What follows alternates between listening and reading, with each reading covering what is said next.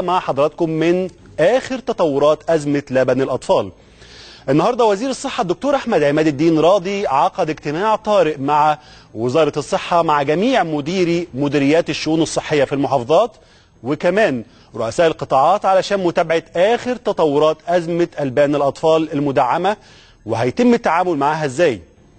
المتحدث الرسمي باسم وزارة الصحة الدكتور خالد مجاهد قال إن الاجتماع شمل جميع قيادات الوزارة لدراسة أزمتي ألبان الأطفال وكمان نقص التحاليل بالمستشفيات.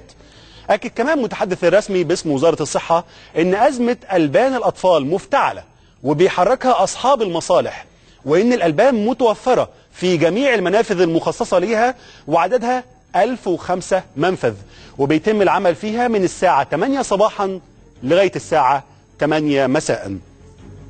الخبر ده بالتأكيد حضراتكم